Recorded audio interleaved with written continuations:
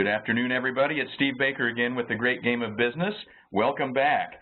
Uh, this webinar is based upon the uh, Great Game of Business and specifically the practice of uh, provide a stake in the outcome. This is usually the most interesting to people because it includes discussions about bonus plans. Everybody loves bonus plans and everybody hates bonus plans. So I thought I'd start out by reminding everybody kind of uh, where we are and where we came from. Um, the Great Game of Business is the smallest division of SRC. We're a company of 14 different divisions and about 1,500 people in Springfield, Missouri. Most of the divisions uh, remanufacture engines and engine components. Um, the Great Game of Business, my division, is the educational wing. We were originally established to handle a high demand for company tours and visits after the book's release 20 years ago. Um, and now we're the largest and most well-known resource for open book management training and education uh, in the world. Um, we brought the book back out uh, last July and uh, hit number one again. And the reason I think that happens is that it is the ideas are evergreen and the uh, the concepts are so solid and so well time tested uh, that that people uh, really find that they can implement them in any business you can imagine. Uh, Jim Collins said it's uh, uh, what makes it great is consistency, alignment, and transparency. Uh, but then it's that it's infused with core values, and then we bring it to life with mechanisms, with real tools, and uh, and that's what I want to talk to you today about. Is one of the most powerful things to get rapid results, uh, both financially and culturally, is to talk about bonus plans. Now, um, as we've covered before, uh, Jack Stack and 12 other managers bought a dying division of International Harvester back in the early 80s and were so heavily leveraged that they had to uh, figure out a way to engage everyone into learning business, that open book management thing that was born in Springfield, Missouri. And they used the analogy of a game because Jack realized that, that people were really good at their jobs. They didn't want to become accountants. And so he used the analogy of a game because business and games have all the same elements. There's a goal, there are rules, the scoreboards are, of course, the financial statements. We've been talking about that for several webinars. And there's a reward for winning. But no one will play your stupid little game if they don't know the rules, if they don't know the score or can't change it, and if they can't win. And this is the way it looks in the graphical form, where the critical number, that one thing that defines winning, what's the one thing that absolutely we've got to do or nothing else matters. Uh, and then it's surrounded by know and teach the rules, follow the action, and keep score. And of course, this section that we're going to cover today, provide a stake in the outcome. In the great game of business, we say that uh, every employee is given the measures of business success and taught to understand them, right? The open book, but along with it, the education. Every employee is expected now and enabled to act on that performance to improve the performance of the business. And finally, if they do all that, they deserve a stake in the outcome. So let's get right to it. When we think about a stake in the outcome, we look at it as a number of things. I'm going to just put one out there. I talk a lot about getting employees to think and act and feel like owners. Ownership is one way that you can do this, but I'm going to tell you, and I happen to sit on the board of directors for the National Center for Employee Ownership. I am an employee owner. I'm a true believer, but I'm telling you, not many people will share equity with their employees, and you don't have to. What we're interested in is teaching people business to think and act like a business person, to think and act like you do. So let's take ownership and set it to the side, and let's talk about what we came here to talk about today, bonus programs. That falls under the rewards and recognition portion. And let's be honest, when you provide a stake in the outcome in, form, in, in the form of a bonus, everybody thinks of this guy. Remember Clark W. Griswold? This guy was the poster child. He still is. We break it out in my family every year at Christmas time. I can't tell you how many years I was Clark W. Griswold. Do you remember what the premise of the movie was? Christmas Vacation was founded on the whole idea of a guy digging a hole in his yard for a pool he could not afford based on a bonus he didn't know if he was going to get. And that really drives people crazy because bonuses typically don't work because employees think they should be more and owners are like going, how am I going to cover this? You know, I mean, it's not based upon the performance of the business always. And I'm going to tell you some ideas on, on really creating a great bonus program. So to do that, let's figure out what's wrong with bonus plans. Most often they're discretionary. We call it the Santa bonus. What about if they're too complex, where you can't calculate it, you don't know what your your day-to-day -day activities are, that's the rocket science bonus. Some of them create silos when you only give uh, bonuses to certain people for their performance, that creates a dogfight. Um, and then there's sometimes this uh, this idea of, uh, you know, who, who knows if it's going to win or not. If they got no buy-in in it, it's like a lotto bonus. And and finally, I've actually been with a number of different companies in the past uh, where when we survey their employees and ask about the uh, incentive program, they, they say, what bonus? That's incredible. You should see the look on the owner's face when they say, what bonus? Oh my God, you know, I can't believe they don't know about it. Well, here it is, guys. The secret, get your pens out. The secret to creating a great bonus plan is people support what they help create. Now, what do I mean by that? I don't mean just ask people what they want as a bonus because you know it would be anarchy.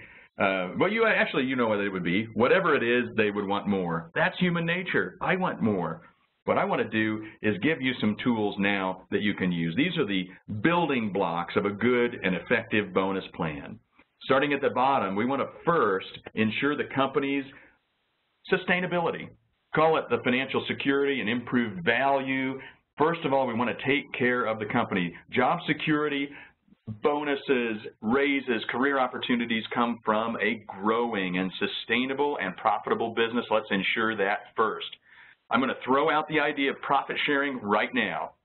Just because we earn a dollar does not mean we share a dollar. In other words, what we're going to do is create what I call a threshold to ensure the company's security first.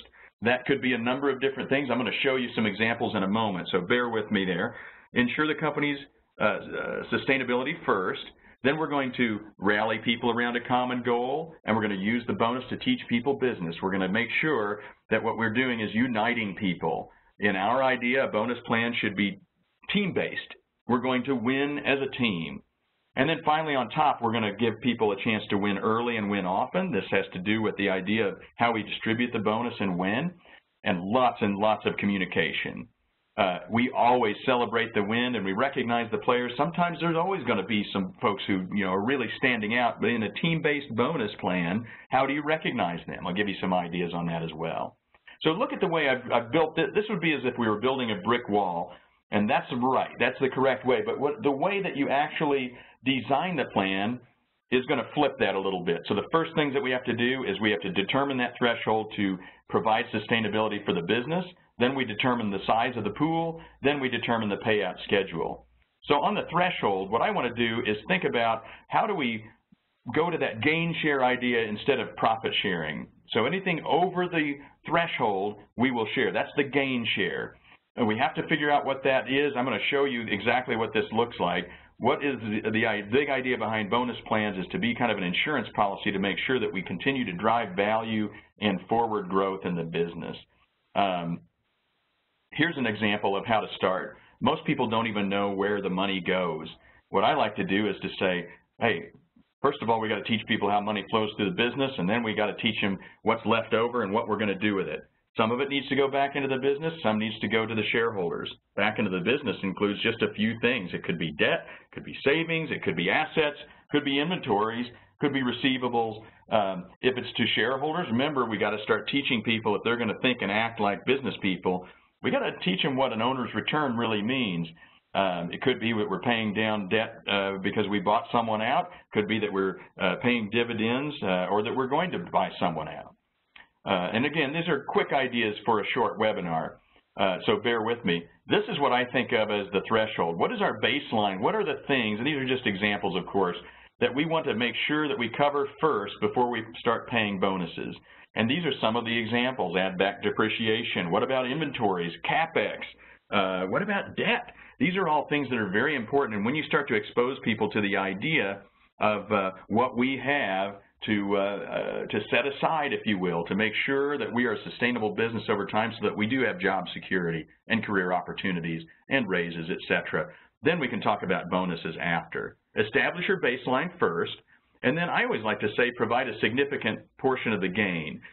Here's what I'm talking about. Once you get past that threshold, we at SRC share back 50% of the gain, in other words, of additional dollars beyond that threshold, um, because now we're in it together. We're partners. And here's the interesting thing is we cap it. You don't have to cap it. There's lots of reasons to and not to. What I suggest to you is immediately start thinking in different ways. Instead of thinking about percentages, think about the way your employees think. 10% of, of their pay is equal to 5.2 weeks of extra pay.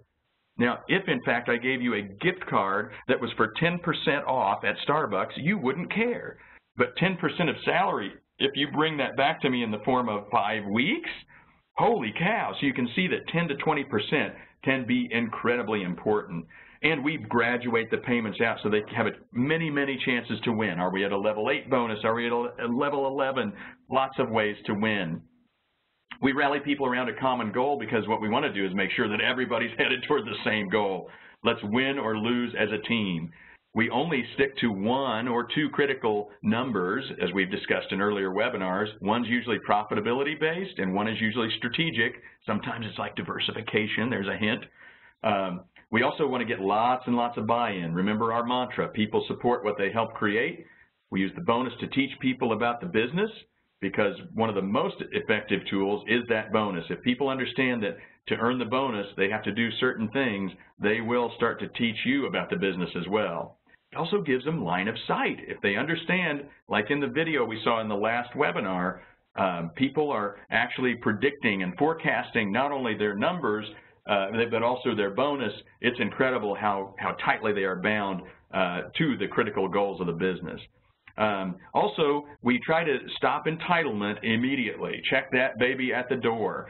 If our bonus plan is tied to the critical number and we actually uh, achieve that critical number, let's say in those early days of SRC, the critical number was make the bank loan payment, do you think after 52 huddles, 52 lessons, and 52 forecasting sessions, all in the same thing called a huddle, do you think they learned that debt was bad and equity was good? Absolutely. The next critical number for year two was diversification. The idea is very simple. When the critical number changes and you continue to teach your people the business, entitlement is shut down because we're aiming at another goal that's important for the business, and the more they begin to think like business people, the less entitlement will creep in. Uh, I always uh, put the WIFM uh, in the right perspective. Make sure your people understand that bonus is bonus. It is not part of salary, like Clark W. Griswold pointed out in the uh, in the uh, movie uh, Christmas Vacation. Now, um, let's talk about this one. Give people a chance to win early and win often. And I want to show you this before we close up. Um, people don't always feel like winners, and we want to make sure that they feel have a chance to win at work because if they win at work, they will win more at home, and that will roll out into the community. Um, we like to pay frequent bonus payouts in the form of uh, 10, 20, 30, 40% payouts over the different quarters of the year. I'm going to show you a, a form in which that can manifest. Um, we say earn a bonus every three months. It keeps me in the game. The payouts are bigger, right? 10, 20, 30, 40% of the potential pool. And the thing is, is that um, those ranges can be anything. If we cap it at 20%, uh, let's say as an example, there are 20 levels in which you could win. It doesn't mean that you have to max bonus to still be a winner. You could be at 2%, it's still better than nothing, and it is bonus. It's incremental to their salary. We like to say that small wins add up to big wins. In addition to the bonus plan, we play mini games, self-funding incentive plans, if you will, um, inside departments and work groups to drive the overall big game, hence the bonus as well. A great way to get started. So here's the uh, where I'll sit for a minute before we close so you can get an idea of how we pay this out.